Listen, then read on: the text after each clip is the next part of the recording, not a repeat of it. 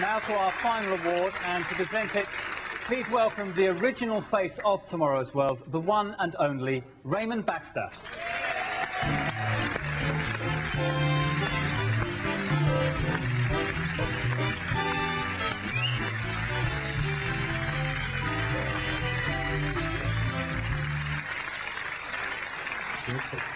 Raymond, thank you for joining us. Please tell us about your award.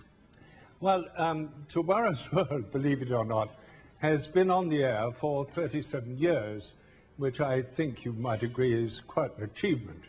However, it's a relative newcomer in the eyes of the winner of this year's award for science communication.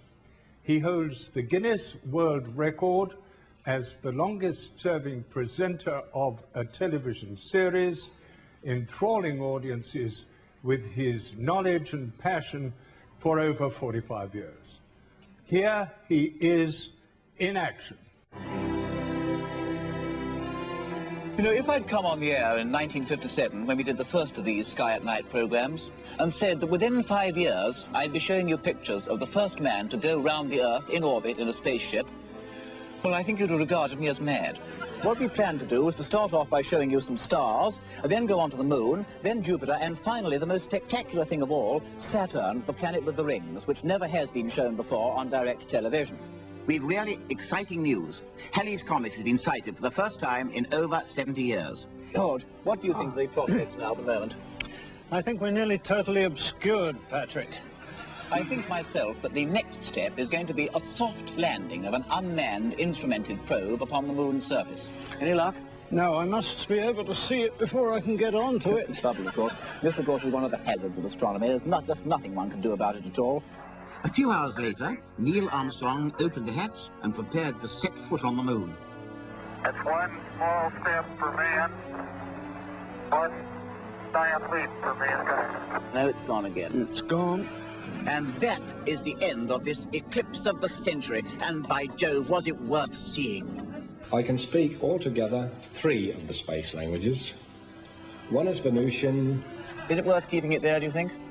Well, there's nowhere else to point it, is No, there? I'm afraid not. And there is the crescent sun. There are about 15 minutes from totality, and we've just had our first glimpse of the eclipse.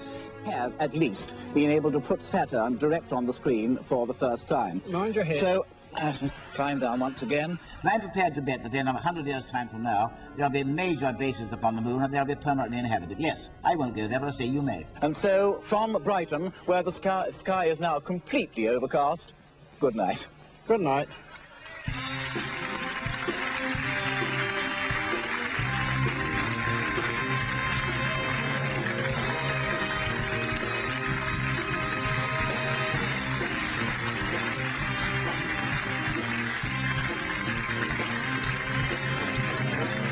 Patrick, it, it gives me the most enormous pleasure and pride to present to you the Raymond Baxter Award for 2002.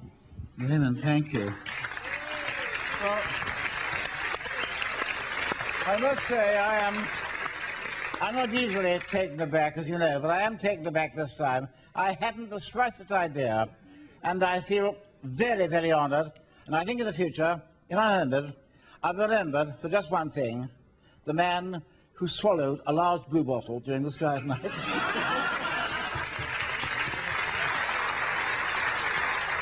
we can just let you hold on for one more minute, we have a, we have another surprise for you. There was someone who really wanted to be here this evening. He's just got off a plane from LA. He's rock star and astronomer Brian May. oh, great.